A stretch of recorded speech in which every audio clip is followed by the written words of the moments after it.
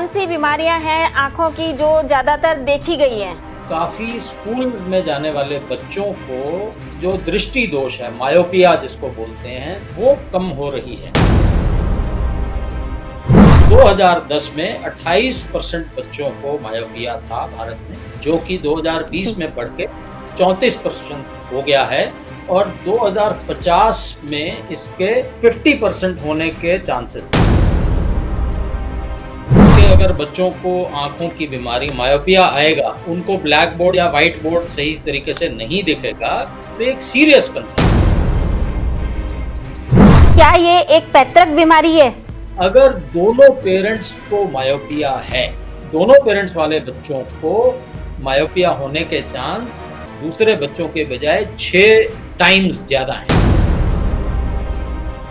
अगर 40 से 80 मिनट कि आउटडोर एक्टिविटी बच्चा कर लेता है तो 23 से 50 परसेंट चांसेस मायोपिया होने के कम हो जाते हैं। नमस्कार डी फाइव चैनल हिंदी देख रहे दर्शकों का मैं वंदना स्वागत करती हूँ। आज एक बार फिर हम जुड़े हुए हैं डॉक्टर एच के खरबंदा से।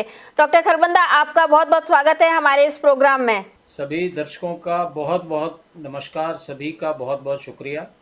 डॉक्टर खरबंदा, हमें ये बताइए कि आजकल आँखों की बीमारियाँ बहुत ज़्यादा चल रही हैं तो कौन सी बीमारियाँ हैं आँखों की जो ज़्यादातर देखी गई हैं? देखिए, ऐसा है, आँखों की बहुत सारी बीमारियाँ हैं और ख़ासकर एक कुछ दिनों पहले all India institute of medical sciences की एक स्टडी आई है, जिसके अनुसार भारत में काफ़ी स्कूल में जाने वाले बच्चों को जो दृष्टि दोष है मायोपिया जिसको बोलते हैं जो दूर को देखने की हमारी आँखों की क्षमता है वो कम हो रही है। अमूमन 20 फुट से लेकर 40 फुट तक बिल्कुल क्रिस्टल क्लियर दिखता है हमें लेकिन वो क्षमता कम हो रही है। और उसके अगर हम डाटाज लें तो 2010 में 28 परसेंट बच्चों को मायोपिया था भारत में जो कि 2020 में बढ़ के चौंतीस परसेंट हो गया है और 2050 में इसके 50 परसेंट होने के चांसेस हैं। और अगर हमारे बच्चे और भारत जैसे आपको ज्ञात है कि युवा प्रधान देश है काफ़ी युवा 350 मिलियन हमारे भारत में 10 से 24 साल की उम्र वाले बच्चे हैं। तो युवा स्कूल के अगर बच्चों को आँखों की बीमारी मायोपिया आएगा उनको ब्लैक बोर्ड या व्हाइट बोर्ड सही तरीके से नहीं दिखेगा तो एक सीरियस कंसर्न जी। इसमें पेरेंट्स का और टीचर्स का कितना रोल है? क्या उनको पता चल पाता है कि बच्चे को मायोपिया हो गया है? कई बार तो पता ही नहीं चल पाता उनको। देखिए इसमें बड़ी क्लोज ऑब्जर्वेशन की ज़रूरत है। और पेरेंट्स से भी ज़्यादा शायद टीचर्स की ऑब्ज़र्व है क्योंकि बच्चा सारा दिन स्कूल में रहता है। तो स्कूल में अगर वो अपनी आँखों को ऐसे करके देखे या वो कहे कि मुझे मैम पहली सीट पे बैठा दीजिए मुझे दूर से दिखता नहीं साफ़। या बच्चा इंटेलिजेंट है और वो काम खराब करना शुरू कर दे क्लास में परफॉर्मेंस उसकी डाउन चली जाए वैसे इंटेलिजेंट है लेकिन क्योंकि उसे दिख ही नहीं रहा उसको कुछ समझ ही नहीं आ रहा बच्चे को। और अगर वो टीचर को कहता कि मुझे आगे शिफ्ट कर दीजिए तो टीचर कहती नहीं नहीं आप तो टॉपर हो आप पीछे बैठो आपको सब कुछ आता है। आगे की सीट्स उनके लिए रिज़र्व हैं जो वीक बच्चे हैं जो बिलो एवरेज बच्चे हैं। जी। तो ये टीचर की ऑब्जर्वेशन अगर टीचर को लगे कि बच्चा ऐसे करके ऐसे आँखें क्लोज करता है ऐसे करने से क्या होता है?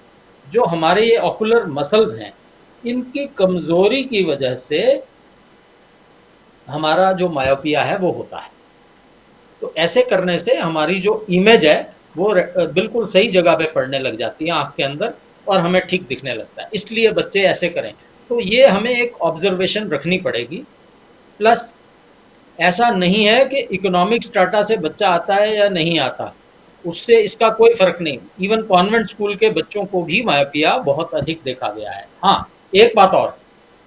अगर दोनों पेरेंट्स को मायोपिया है तो बच्चों में उस दोनों पेरेंट्स वाले बच्चों को मायोपिया होने के चांस दूसरे बच्चों के बजाय छह टाइम्स ज़्यादा हैं। जी। तो आपको मैं जैसे बता रहा हूँ हेरिडिटी अगर है बच्चा इनहेरिट करता है तो एक सलाह यह है कि शादी के वक्त जन्म कुंडली मिलाने की बजाय अपनी आँखों की ऐनक मिलाएँ। दोनों को ऐनक नहीं लगी होनी चाहिए। अगर दोनों को ऐनक लगी है तो आपका जो आने वाला सिबलिंग है जो बच्चा है आएगा उसमें छह प्रतिशत सिक्स टाइम्स सिक्सटी परसेंट ज़्यादा चांसेस हैं कि बच्चे को मायोपिया हो। और मायोपिया के बड़े कॉन्सिक्वेंसेज हैं। 18 साल की उम्र तक हमारे मसल का साइज़ बढ़ता है और मायोपिया का प्रोग्रेस होता है। उसको हम प्रोग्रेसिव मायोपिया बोलते हैं। बड़ा आसान जाँच है। 20 फुट, हर स्कूलों की मेडिकल रूम में भी एक चार्ट लगा होना चाहिए 20 फुट दूरी पे, और उसका ऊपर से नीचे तक बच्चा एक आँख बंद करके हम उसको पढ़वा लें तो पता लग जाता है कोई टेस्ट की ज़रूरत नहीं, इतना आसान टेस्ट है इसका। और आसान इलाज है, या तो हम ग्लासेस दे दें, जैसे मैंने लगाए हुए हैं, या तो हम कांस्टेंट यूज़ ये फ़र्क वंदना जी हमें समझ आना पड़ेगा कि 40 साल से पहले पहले हमें जो दृष्टि दोष होता है, वो दूर का होता है। और 40 के बाद जो होता है वो नज़दीक का होता है। जी। बच्चे क्या है कि अपना काम इसमें मुश्किल यही आती है कि बच्चा ये जज नहीं कर पाता कि मुझे दूर का दृष्टि दोष है क्योंकि वो दिखता है कि मुझे तो सब साफ़ किताब साफ़ दिख रही है लिखा ठीक जा रहा है लैपटॉप ठीक दिख रहा है मोबाइल ठीक दिख रहा है सारे काम ठीक हो रहे हैं नज़दीक का बिल्कुल ठीक है। हाँ टीवी देखते वक्त मुश्किल है या दूर में रात को बस का नंबर नहीं दिखेगा या व्हाइट बोर्ड नहीं दिखेगा यहाँ मुश्किलें आएँगी। अब ये चीज़ें बच्चा तो बच्चा है वो ऑब्ज़र्व नहीं कर पाता तो टीचर्स की ज़िम्मेदारी बनती है कि वो माया और एक बात और अगर हम हर स्कूल में routine screening eye screening camps लगा दें तो बात बन सकती है। जैसे दांतों के कैंप बड़े पॉपुलर हैं डेंटल कैरीज बहुत कॉमन है तो इम्यूनाइजेशन भी हम कैंप्स लगा के करते हैं पूरे स्कूल में बच्चों को। तो एक आई के अगर हम स्क्रीनिंग कैंप्स लगा दें हमारी सरकार को ये चाहिए कि एक स्क्रीनिंग कैंप्स या प्राइवेट बॉडीज तो लगा ही रही हैं। तो मिलजुल के अगर हम बच्चों की स्क्रीनिंग कर लें और जाँच कर लें और एनक लगा दें वक्त रहते तो ये नंबर बढ़ेगा नहीं। 18 साल की उम्र तक अदरवाइज़ बढ़ता है तो वहीं रुक जाएगा। और ये कांस्टेंट यूज़ लगाना है। कांस्टेंट यूज़ का मतलब है रात को सोते समय उतारिए और सुबह उठते ही लगा लीजिए। ये वर्ड ऑफ़ कॉशन है। चालीस के बाद आपको एनक तब लगानी है जब आप पढ़ रहे हैं या नज़दीक का काम कर रहे हैं। लेकिन जो। 40 से पहले अनक लगती है वो पूरा कांस्टेंट यूज़ के लिए जीवन। डॉक्टर खरबंदा ये बताइए कि क्या ये एक पैतृक बीमारी है मायोपिया हाँ जी हेरिडिटी बीमारी है। मैंने आपको बताया कि ये हेरिडिटी के साथ साथ अगर मदर और फादर दोनों को मायोपिया है तो बच्चे को 60 परसेंट चांसेस ज़्यादा हैं अन्य बच्चों की अपेक्षा मायोपिया होने के। और ये आधुनिकता की देन है। हम लोग लैपटॉप मोबाइल और इनडोर एक्टिविटीज़ का शिकार हो गए हैं। बच्चा सुबह से लेकर दोपहर तक स्कूल में होता है। स्कूल से आगे खाना खा के उसको होमवर्क का बुखार चढ़ जाता है? होमवर्क के बाद उसने ट्यूशन जाना है। बाहर वो जा ही नहीं पाता। शाम को या तो वो टीवी देखता है या वो लैपटॉप पे है या मोबाइल पे है। तो आउटडोर एक्टिविटीज़ बंद होने की वजह से ये मुश्किल अगर जो हमारी स्टडी हमने करी थी all India institute of medical sciences में उसमें ये भी आया है कि अगर 40 से 80 मिनट की आउटडोर एक्टिविटी बच्चा कर लेता है तो 23 से 50 परसेंट चांसेस मायोपिया होने के कम हो जाते हैं। आई रिपीट 23 से 50 प्रतिशत मायोपिया होने के चांसेस कम हो जाते हैं। तो ये मायोपिया की और कोई दवाई नहीं है सिर्फ़ होम्योपैथिक में एक दवाई है जो प्रोग्रेसिव मायोपिया में हम देते हैं फाइसोस्टिग्मा नाम की दवाई है वो भी नंबर बढ़ने से रोकती है लेकिन ठीक नहीं करती रिवर्स नहीं होता वरना मैं ना मैंने अनक ना लगाई होती। और आप अमूमन देखेंगे सभी जितने डॉक्टर्स भी खुद एनक लगा के रखते हैं। तो इसका कोई रिवर्सल नहीं है। इसका इलाज यही है कि हम इसकी इमेज ठीक कर लें एनक लगा लें और ठीक इसको लगा लें। यही इलाज है। या फिर हम कई बच्चे बहुत छोटे होते हैं या कईयों को कॉस्मेटिक प्रॉब्लम है। गर्ल्स ने शादी करानी होती है तो उनको फेस कॉस्मेटिक व्यू की वजह से वो लोग कॉन्टैक्ट लेंसेज यूज़ कर लेते हैं। तो या कॉन्टैक्ट लेंस लगाएँ या एनक लगाएँ या एक तीसरा सोल्यूशन आ गया है। वो लासिक लेजर है। लासिक लेजर पेनलेस और नीडललेस बिना कोई कट के बिना आँख के अंदर जाए और बिना पेन के। कुछ सेकंड्स की वो कहने को तो लासिक सर्जरी बोली जाती है, लेकिन वो सिर्फ़ लेजर की रेज हम देते हैं और रेज से ये परमानेंट इसको ठीक कर लेते हैं। हालाँकि उसमें एक आवश्यक जाँच ऑप्थेल्मोलॉजिस्ट को करनी पड़ती है कि क्या उस बच्चे को कभी कोई स्क्विंट हुआ, क्या उसकी कोई आई लेजी है क्या उसे कोई ग्लाकोमा है? ग्लाकोमा होता है सफ़ेद मोतिया। या उसको कोई काला मोतिया है कैटरेक्ट सॉरी ग्लाकोमा काला मोतिया है या सफ़ेद मोतिया को कैटरेक्ट बोलते हैं। और या उसको कोई रेटिनल डिटैचमेंट है। इन सारी बीमारियाँ जो बच्चों की कॉमन बीमारियाँ हैं मैं फिर से गिना देता हूँ squint lazy eye lazy eye में एक आँख लेजी हो जाती है। एक आँख से बच्चे को दिखता नहीं लेकिन एक से काम चल जाता अब देखिए भगवान ने आँखें बनाई हैं। दोनों देखती हैं। अगर एक बंद भी हो जाए फिर भी उतना कुछ ही दिखता है। तो कई बार क्या होता है लेजी आई होती है। लेकिन लेजी आई पे भी एनक लगा के रखना ज़रूरी है उसको भी ट्रीट करना है हमने। ये बातें टीचर्स को पता होनी चाहिए क्योंकि डॉक्टर रोज रोज स्कूल में नहीं जा सकता तो टीचर्स ने देखना है कि बच्चा एक आँख से देखता है ऐसे दिखेगा लेजी आई वाला बच्चा। तो उसे एक आँख से ही दिखता है एक से कम दिखता है तो उसको बंद कर लेगा। जी। अगर किसी बच्चे में अनयूजुअल बिहेवियर मिलता है आँखों में देखने में तो उस टीचर को उसको आई के लिए रेफर करना चाहिए या स्कूलों में एक मेडिकल हेल्थ ऑफिसर हो जो महीने में एक बार हर बच्चे की जाँच कर ले। वैसे हैं प्रोविज़न है लेकिन भारत में संस्थानों की कमी है डॉक्टर्स की कमी है पर कैपिटा डॉक्टर्स की रेशियो बहुत कम है। तो इन मुश्किलों की वजह से हम ये इन चीज़ों पर नहीं पहुँच पाते और इसीलिए मायोपिया बढ़ रहा है। और एक हमारी एक्टिविटी इंडोर हो गई है। प्लस न्यूट्रिशन का भी रोल है। जंक फ़ूड, मैदा, fast food so called fast food वो सब नेचुरल सी बात है। अगर शरीर भी, आँखें भी शरीर का हिस्सा है तो आँखें अगर अगर शरीर खराब है तो आँखें भी खराब जी। जी। आपने बताया था कि लेंस लगवाते हैं सभी तो उसके लिए कोई खास उम्र के बाद लेंस लगवाना चाहिए या किसी भी उम्र में लगवाया जा सकता है? देखिए 18 से पहले लेंस नहीं लगवाने चाहिए, क्योंकि 18 तक आपका नंबर बढ़ेगा तो आपको प्लस बच्चे इतने सेंसिटिव नहीं होते। अगर लेंस लगा है, बाहर आंधी तूफ़ान आ गया तो वो कण घुस सकते हैं अंदर, और अगर एक बार कण घुस गए तो वो मुश्किल हो जाती है, और लेंस भी रात को उतार के लेंस के फ्लूड में रखने पड़ते हैं, उस फ्लूड से निकाल के लगाने पड़ते हैं तो बच्चों के लिए मुश्किल है।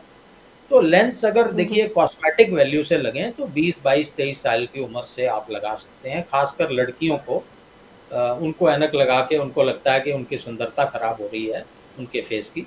हालाँकि ऐसा नहीं है। लेंस की अपनी ग्रेस है। ऐनक की अपनी ग्रेस है। तो लेंस भी लगाए जा सकते हैं। आजकल एक कॉस्मेटिक के अलावा कलरफुल आपने देखा होगा हर मूवीज़ में स्टार की आँखों की पुतलियों का रंग बदल जाता है।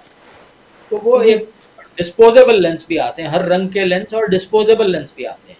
वो आपने लगाए और शाम को फेंक दिए। ऐसे भी लेंसेज आते हैं और हमने मूवीज़ में देखा होगा कि टीयर्स ये देखिए हमें कुदरत ने आँखों के अंदर आँसू क्यों दिए हैं? वो आँखों में अगर कुछ डल जाए कुछ गिर जाए तो आँखें अपने आप को साफ़ करने के लिए टीयर ग्लैंड होती हैं। वो आँसू आते हैं और उसको साफ़ कर देते हैं। हम फिर भी बेवकूफ़ी करते हैं कि हम जैसे ही आँखों में कुछ डलता है तो उसको मलना शुरू कर देते हैं। वंदना जी एक बड़ी इंटरेस्टिंग मैं आपको बात बताने लगा हूँ कि अगर हाँ जी। हमारी इस आँख में कुछ गिरा है बाहर से कुछ हवाई या कण गिर गया तो हमारी दोनों आँखों की जो मूवमेंट है वो रिदमिक है। वो कुदरत की देन है कि अगर इस आँख में कुछ डला है सपोज़ यहाँ डल गया तो यहाँ ये काले हिस्से के यहाँ हमारा लेंस है ये ब्लैक वाले हिस्से में हमने कभी कुछ नहीं करना क्योंकि यहाँ कॉर्निया है। यहाँ अगर हम मलेंगे तो यहाँ अल्सर हो जाएगा। तो अगर कुछ डल जाए तो हमने क्या करना है ये ऐसे धीरे धीरे दूसरी आँख उस आँख को नहीं। सपोज़ इसमें डला है तो इस आँख को यहाँ से मलना शुरू कीजिए मल मल के मल मल के यहाँ तक ले आइए। अगर यहाँ तक लाएँगे तो इधर वाला कण अपने आप यहाँ पहुँच जाएगा। और। यहाँ फिर आप इसको ऐसे यहाँ सफ़ेद हिस्से में दिख गया और यहाँ से निकालो। इसी तरह अगर इस आँख में खारिश है तो इसको दव, इसको मालिश कीजिए तो इसको आराम मिल जाएगा। तो ये एक कुदरत की देन है जिसके सहायता से हम फॉरेन बॉडी बिना किसी इंजरी के बिना किसी इमरजेंसी के कॉर्नियल अल्सर से बचाते हुए हम निकाल सकते जी। डॉक्टर खरबंदा कई बार लोग आँखों के अंदर ड्रॉप डालने लगते हैं। अगर कुछ चला जाता है तो भी ड्रॉप डालते हैं या फिर पानी से धो लेते हैं। लेकिन क्या होता है कि वो ड्रॉप कई बार तो ठीक कर देती है आँख को लेकिन कई बार नहीं करती। आँख में घाव हो जाता है जो फॉरन बॉडी आँख के अंदर चली जाती है उससे। तो ऐसे में उनको सिर्फ़ दूसरी आँख को ही रब करना चाहिए या जैसे रब करके निकाल दिया, अभी आपने बताया कि आँख को रब करा, दूसरी आँख को रब करा तो उस आँख से कचरा साइड में आ जाएगा और फिर वो निकाल दो। अगर वो ऐसा नहीं करते हैं तो क्या उनको उन ड्रॉप्स का इस्तेमाल करना चाहिए? जी, बहुत अच्छा सवाल है, वंदना जी, देखिए, अगर कोई भी आई ड्रॉप्स हमारा भारत में तो मिल जाते हैं ओवर द काउंटर लेकिन अगर आप किसी भी डेवलप्ड कंट्री में चले जाएँ बिना प्रेस्क्रिप्शन के कोई दवाई नहीं मिलती है। बैरिंग फ्यू मेडिसिन कोई आई ड्रॉप आपको ओवर द काउंटर नहीं मिलता है। ये सिंपल सा इंडिकेशन है कि हम अपनी मर्ज़ी से आँखों में दवाई नहीं डाल सकते। Until unless prescribed by a doctor it should never be used. और अगर देखिए आँखों में अगर आपको तकलीफ़ आएगी तो सिम्टम्स आएँगे। आपकी आँखें लाल दिखेंगी आपकी आँखों से पानी चलने लगेगा। हो सकता है आपको जुकाम लगा है उसकी वजह से एलर्जी है वो बड़ा कॉमन है। जुकाम की आप दवाई लेंगे या जुकाम अपने आप ठीक होगा तो आँखें भी ठीक हो जाएँगी। तो आपका काम आपका काम नहीं है ये जज करना कि आपको दवाई डालनी है या नहीं डालनी। हाँ एक अमूमन बात है लोग सोचते हैं कि हम सुबह से बाहर मिट्टी में जाके आए हैं हमारी आँखें गंदी हो गई हैं हम इनको साफ़ करें। तो भाई मैंने आपको समझाया कि टीयर हमारी कुदरत ने टीयर ग्लैंड्स हैं। जब मिट्टी पड़ती है तो आँखों से टीयर ग्लैंड अपने आप डिस्चार्ज करती हैं और वो साफ़ हो जाती है। हमें कुछ नहीं करना। एट दी मैक्स अगर हमें लगता है कि आँखें जल रही हैं बहुत परेशानी हो रही है तो आई वॉश कप्स आते हैं। जैसे शराब का पैग होता है उस शेप के होते हैं। आई वॉश कप्स वो केमिस्ट पे मिलते हैं। या कांच के या प्लास्टिक के। उनमें आप बर्फ़ का पानी ठंडा डाल दीजिए। और उन दोनों आई वॉश कप्स को ऐसे आँखों पे लगा दीजिए। उसको लगाते ही आपको 10 मिनट में 15 मिनट में आपकी आँखें तरोताजा हो जाएँगी।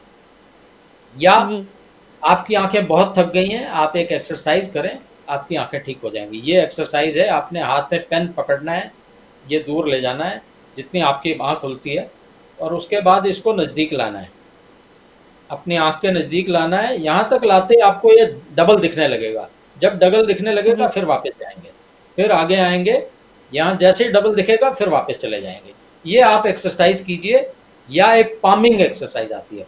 पामिंग का मतलब है ऐसे आप पाम्स बना लीजिए और ऐसे टेबल पे रख के ऐसे दबा लीजिए। ये पामिंग की एक्सरसाइज है। इसके अलावा आपके आईज की मूवमेंट की एक्सरसाइज है। ऊपर देखिए नीचे देखिए इधर देखिए इधर देखिए और सर्कुलर घुमाइए।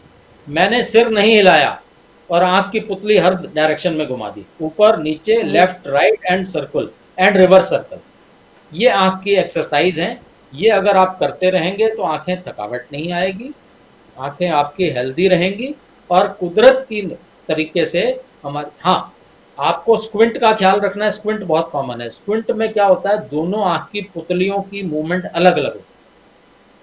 मैंने अभी आपको बताया कि दोनों आँखें रिदमिक हैं हमारी। अगर आप इस पुतली को देखते हैं तो ये अपने आप उड़ जाती है। इसके लिए एफर्ट नहीं करना पड़ता। आप बंद रखेंगे तो भी मुड़ेगी। तो स्क्विंट का इलाज या तो एनक है या सर्जरी है वो आपका आई का डॉक्टर बताएगा। अगर आपके बच्चे को एक आँख इधर देखे एक इधर देखे भैंगापन जिसको हम बोलते हैं भैंगापन स्क्विंट एनक भी लग जाती है। और किसी एक्सट्रीम रेयर केसेस में सर्जरी करानी पड़ती है। लेजी आई हो गई ग्लकोमा ग्लकोमा में आँख के अंदर का प्रेशर बढ़ जाता है जिसे हम काला मोतिया बोलते हैं। उसमें दो तरह की इलाज हैं। या तो प्रेशर कम करने के ड्रॉप्स डालने पड़ेंगे आपको ताउम्र और साल में एक बार आँखों की जाँच करानी पड़ेगी। या फिर सर्जरी है उसमें बड़ी रेयर केस में सर्जरी हमें करनी पड़ती है। कैटारेक्ट कैटारेक्ट यूजुअली बच्चों में नहीं होते। वो सफ़ेद मोतिया है लेंस हमारा ट्रांसपेरेंट है वो वाइट हो जाता है। वो आम देखने से पता लग जाता है। तो मेरे ख्याल से टीचर्स को अगर एक दिन आई स्पेशलिस्ट पूरी ट्रेनिंग दे दे तो टीचर बहुत बढ़िया काम कर सकते हैं। आई के हर मरीज़ को रेफर कर सकते हैं। और एक गंभीर बीमारी होती है रेटिनल डिटैचमेंट रेटिना जो। हमारी आँख का पर्दा है जिसपे हमारी इमेज बनती है वो अपने सरफेस से डिटैच हो जाता है। तो वो सीरियस मैटर है। इन सारे केसेस देखो आँख और ब्रेन दोनों most sensitive organ of the body हैं। लेकिन ब्रेन ढका हुआ है। तभी जो ब्रेन की स्कल है, ये सबसे सख्त हड्डी है। इसको काटने के लिए हमें आरी, इलेक्ट्रिक आरी का इस्तेमाल करना पड़ता है। इतनी सख्त हड्डी है। वो इसीलिए सख्त है कि ब्रेन बहुत नाजुक है और पूरी शरीर का कंट्रोल यहाँ से है। इसी तरह आँखें नाजुक हैं और एक्सपोज भी हैं। आप देखिए, आँखों के अंदर ये क्यों लगा है? ये लिड्स क्यों बनी है? आँखों को बचाने के लिए। हाँ एक बात और। एक एक्सरसाइज है वॉलेंटरी ब्लिंकिंग हर एक घंटे बाद जब आप थक जाते हैं तो कुछ देर वॉलेंटरी ब्लिंकिंग कर लीजिए। ब्लिंकिंग वैसे तो अपने आप जब भी आँख थकेगी खुद ही ब्लिंक कर ले। या आपके सामने कोई आग आएगी कुछ आएगा कुछ भी आएगा आँख बंद कर लेगी अपने आप। ये ऑटोमेटिक रिफ्लेक्सेस हैं शरीर के। ये सारा ब्रेन का काम है। इतने शानदार रिफ्लेक्सेस हैं कि सेकंड के दो हिस्से दो सेकंड बार मिली सेकंड्स में ये रिफ्लेक्सेस काम करते हैं हमारे। इतने शानदार रिफ्लेक्सेस कुदरत ने बनाए हुए हैं तो आँख अपने को बचाने में पूरी तरह कामया कैपेबल है। सिर्फ़ हमें कहाँ ख्याल रखना है? अब दिवाली पे बहुत ज़्यादा आई इंजरी के केसेस आते हैं। या इंडस्ट्रियल आपने देखा वेल्डिंग करते वक्त इतनी मोटी ऐनक लगानी पड़ती है। या मोटरसाइकिल पे जाते वक्त भी इतनी मोटी ऐनक लगानी पड़ती है। जब आप अपनी आँख को ऐसे हैजर्ड्स में लगा रहे हैं तब आप बचाएँ। आँख खुद बचाने को अपने में सक्षम है लेकिन अगर आप हैजर्ड्स में जा रहे हैं तो आँख को कवर कर लीजिए। बात सिंपल सी है। दिवाली के टाइम पे आँख कवर कीजिए और पानी की एक बाल्टी पास रख लीजिए। अगर कुछ हो जाए तो उसी वक्त आँख में और मलना नहीं है आँख बंद करके आई के डॉक्टर के पास जाए। ये सिंपल मेजर्स हैं जो आपको बचा सकते हैं। लासिक लेजर देखिए अभी तक सिर्फ़ कॉस्मेटिक वैल्यू उसकी है या एनएक्स से बच सकते हैं ये उसकी फ़ायदा है लेकिन उसमें भी हम एक रूटीन प्री चेकअप करते हैं कि इंसान फिट है उसको कोई और बीमारी तो नहीं। कई बार ऐसा देखा गया है कि आपको अंडरलाइन ग्लूकोमा है आपने लासिक लेजर कराया और ग्लूकोमा आपका सरफेस पे आ गया। तो इन चीज़ों से आपको सेल्फ मेडिकेशन नहीं करनी है अपने आप आँखों में दवाई नहीं डालनी है। प्रोग्रेसिव मायोपिया से हम बच सकते हैं होम्योपैथी हमारी हेल्प पे है। वरना रूटीन एक्सरसाइज कीजिए बाहर जाके आउटडोर एक्टिविटीज़ कीजिए और बैलेंस खाइए ये आपकी आँखें बिल्कुल रहेंगी टीचर्स को हम अपना ट्रेन करें। डॉक्टर खरबंदा आपने जो एक्सरसाइज बताई थी वो एक्सरसाइज कितनी देर करनी चाहिए और कितनी बार करनी चाहिए? मतलब सुबह दोपहर शाम तीनों टाइम करनी चाहिए या फिर दो ही टाइम करें? देखिए ऐसा है इस एक्सरसाइज को करने में तीन या चार मिनट लगते हैं। तो चार मिनट जब आप एक टूल बना लें बाथरूम जब गए हैं बाथरूम में बैठे बैठे आप एक्सरसाइज कर लें। दिन में दो या तीन बार आप जाते हैं बाथरूम आप तीन बार अपना एक्सरसाइज कोई एक्स्ट्रा टाइम लगाने की ज़रूरत नहीं है। ठीक है? आप समय का सदुपयोग करें एक एक दो दो मिनट लगता है और अगर किसी को मायोपिया है या इसको अंदेशा है कि मायोपिया शुरू हो गया है तो वो तो ज़रूर करे फिर ये रुक जाएगा। देखिए ये एक्सरसाइज है मसल के वीकनेस की। अगर हम मसल का इस्तेमाल करेंगे तो वो रुक जाएगा। तो मैं तो ये बता रहा हूँ कि आपके एनक का नंबर देखिए नॉर्मली जो नंबर लगता है वो पॉइंट फाइव डायप्टर होती है इसकी जो माइनस में होता है। कनकेव लेंस होते हैं एक कनकेव लेंस होता है कन्वेक्स लेंस होता है। कनकेव होता है ऐसी शेप वाला तो कनकेव लेंस लगते हैं इसके लिए जो बीच में से पतले होते हैं साइडों पे मोटे होते हैं। तो कनकेव लेंस माइनस में पावर आती है डायप्टर तो पॉइंट फाइव से शुरू होता है point two five point five point seven five उसके बाद एक नंबर और आठ नौ दस नंबर तक। दस नंबर तक इतना मोटा शीशा हो जाता है। मेरा नंबर चार है तो ये पतला शीशा है। तो डिपेंड कर मुझे भी बचपन से लगी हुई मायोपिया का मरीज़ हूँ मैं देखिए। तो आठवीं क्लास से ये लगी हुई है। और आठवीं क्लास में तीन नंबर लगा था क्योंकि मुझे भी किसी ने ध्यान नहीं दिया मेरे पेरेंट्स ने। तो ना टीचर ने तो नंबर खूब बढ़ गया तब जाके लगा। जैसा कि आपने बताया कि पता ही नहीं चल पाता है शुरू में कि मायोपिया हुआ है क्या। तो इसके कोई सिम्टम्स जैसे आपने बताया थे कि सिम्टम्स सिर्फ़ एक बताया कि दिखना कम हो जाता है उसमें भी कई बच्चे बता पाते हैं कई बच्चे नहीं बता पाते हैं। इसके अलावा और कोई सिम्टम होते हैं? और कोई सिम्टम नहीं होते सिर्फ़ मैंने आपको बताया इंसान ऐसे करके देखेगा। कि शायद मुझे थोड़ा क्लियर दिख जाए मसल ताकि नज़दीक आ जाए आँख को छोटा कर लेगा अपनी। तो उसको दिखता है। ये पेरेंट्स या टीचर ही ऑब्ज़र्व कर सकते हैं। बच्चे को जानकारी नहीं है। बच्चा छोटा है। या फिर हम बच्चों के ट्यूटोरियल स्टार्ट करें सेवन्थ एट्थ क्लास में ताकि बच्चों को थोड़ा सा जानकारी हो।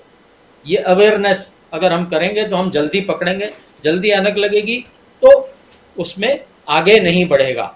लेकिन अगर हमारी डाइट अच्छी हो पेरेंट्स अपडेटेड हो तो वो पहले ही पकड़ सकते हैं। और अगर आउटडोर हम एक्टिविटी अपनी दोबारा से वापस दिनचर्या में शुमार कर लें एक घंटा बाहर खेलें। एक घंटा हर बच्चे को आउटडोर एक्टिविटी करनी है। ये मस्ट होनी चाहिए। तो आपकी आँखों को स्वस्थ रखने के लिए क्या खाना पीना चाहिए क्या नहीं खाना पीना चाहिए? देखिए वही बात आ जाएगी डब्बा बंद डब्बे में रहने दीजिए। और बैलेंस डाइट हरी चीज़ें। विटामिन ए आँखों के लिए स्पेशली विटामिन ए एक बीमारी और है रतौंधी बोलते हैं नाइट ब्लाइंडनेस वो रात को कम दिखता है। वो विटामिन ए की डेफिशिएंसी से होती है। तो विटामिन ए रेटिनॉल नाम की गोलियाँ आती हैं वो खानी जब पड़ती हैं। या विटामिन ए के ड्रॉप्स भी दिए जाते हैं हमारे इम्यूनाइजेशन शेड्यूल में है। विटामिन ए के ड्रॉप्स इसीलिए दिए जाते हैं कि जो मेल न्यूट्रिशन बच्चे हैं जो पुअर हमारे बच्चे हैं जो गरीबी रेखा से नीचे के लोग हैं उनको विटामिन ए के ड्रॉप्स मस्ट हैं। हमारे इम्यूनाइजेशन शेड्यूल में है ताकि अगर वो डाइट ना भी लें तो आँखें बची रहें। ये प्रोग्राम है डब्ल्यू की गाइडलाइन के अंडर वाइटामिन ए के ड्रॉप्स दिए जाते हैं। तो vitamin A rich food green हर रंग का फ्रूट हर रंग की सब्ज़ी और बैलेंस डाइट ये आप खाएँ तो आपकी आँखें स्वस्थ रहेंगी। जी। जो आर्टिफिशियल टीयर्स यूज़ करते हैं आँखों से पानी निकालने के लिए वो नुकसानदेह नहीं होता है? देखिए नहीं वो वो सिर्फ़ एक्टर्स के लिए इस्तेमाल होते हैं ग्लिसरीन यूज़ होती है वो इमोशन पैदा करने इमोशन तो खैर सोच के ही आएगी लेकिन टीयर्स कहाँ से आएँगे? टीयर्स तो ईश्वर की देन है तो वो आर्टिफिशियल टीयर्स यूज़ वो कभी कभार यूज़ होते हैं तो ग्लिसरीन है, सेफ़ है उसका कोई नुकसान नहीं जी। लेकिन खरबंदा आपने हमें बहुत जान चाहिए वो सिर्फ़ फ़िल्म एक्टर्स तक ही रखने चाहिए। गुलाब जल भी आँखों के लिए बहुत अच्छा रहता है। क्या गुलाब जल का यूज़ करना चाहिए? जी हाँ गुलाब जल का इस्तेमाल किया जा सकता है। आयुर्वेद में त्रिफला का इस्तेमाल किया जा सकता है। त्रिफला स्पेशल आता है आँखों के लिए डाइल्यूट करके त्रिफला का पानी बनाया जाता है। आँखों के लिए वो इस्तेमाल हम दोनों चीज़ें कर सकते हैं आयुर्वेद का गुलाब जल और त्रिफला। ये दोनों त्रिफला कैसे यूज़ करना है? हाँ जी। त्रिफला को कैसे यूज़ किया जा सकता है? स्पेशल आँखों के लिए अलग से त्रिफला मिलता है उसका पानी बन जाता है और उस पानी से आँखों को आप वॉश कर सकते हैं। आई वॉश कप्स क्या कोई स्पेशल टाइम होता है? आप सुबह सुबह कर ले वो सबसे अच्छा योग के साथ। जब आप योगासन करते हैं तो उसके साथ साथ जब प्राणायाम करते हैं सुबह तो उसके साथ आई वॉश कप्स लीजिए आई वॉश कप में त्रिफला का पानी डालिए और उससे आँखें धोइए। आप जाते जाते कोई संदेश देना चाहेंगे दर्शकों को? जी हाँ। संदेश एक है खुद दवाई नहीं डालनी है आँखों को मलना नहीं है अगर कुछ गलती से गिर जाए तो दूसरी आँख को मलिए साइड पे लाइए और निकाल लीजिए। और अगर आप आँख की एक्सरसाइज रूटीन में कर लें कोई नुकसान नहीं है। वॉलंटरी ब्लिंकिंग खूब करें। वॉलंटरी ब्लिंकिंग करेंगे तो आँख थकेगी नहीं। आजकल हर आदमी कंप्यूटर के आगे है लैपटॉप के आगे खासकर कोरोना काल में तो सारी पढ़ाई यहीं हो रही है। तो वॉलंटरी ब्लिंकिंग बच्चों के लिए टीचर्स के लिए और सभी जूम की मीटिंग्स के लिए सबके लिए बेनिफिशियल है। आँख की एक्सरसाइज बेनिफिशियल है। ड्रॉप्स की ज़रूरत नहीं है। अगर बहुत थक जाते हैं रात को आई वॉश कप से ठंडा पानी लगाएँ और बैलेंस फ़ूड खाएँ। बस इतना करने की ज़रूरत है। बाकी डॉक्टर खरबंदा आपने हमें बहुत ही महत्वपूर्ण बातें बताई आँखों के बारे में। खास तौर से आँखों में कुछ चला जाए तो उसे किस तरह से निकाला जाए। आप हमारे इस शो में शामिल हुए। आपका बहुत बहुत धन्यवाद। धन्यवाद सभी चैनल के दर्शकों का बहुत बहुत शुक्रिया। अगर आपके भी कोई सवाल हो तो हमें कमेंट बॉक्स में लिख करके भेजेगा आपके सवालों को शामिल किया जाएगा। अगले एपिसोड में आपसे फिर मुलाकात होगी। तब तक के लिए नमस्कार।